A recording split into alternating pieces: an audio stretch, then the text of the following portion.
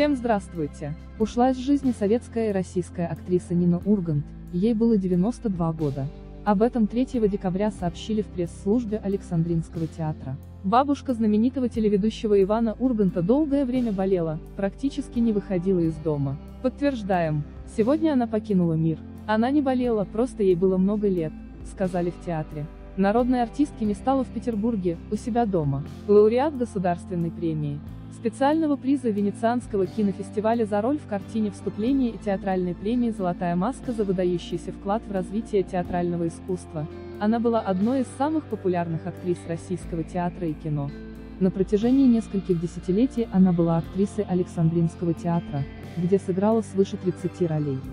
Кино она запомнилась ролями Люси в фильме «Я родом из детства», Анны Михайловны в фильме «Сыновья уходят в бой», медсестры Рай из фильма «Белорусский вокзал».